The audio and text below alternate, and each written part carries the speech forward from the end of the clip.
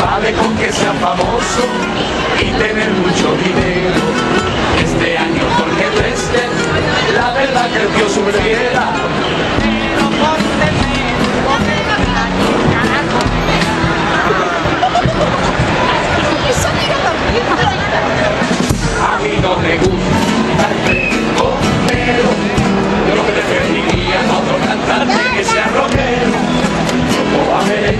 seguro que fue